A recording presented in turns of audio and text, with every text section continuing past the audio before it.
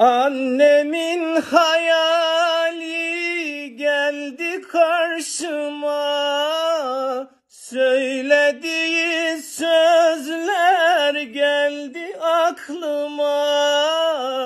Gidi gömleği aldım koynuma.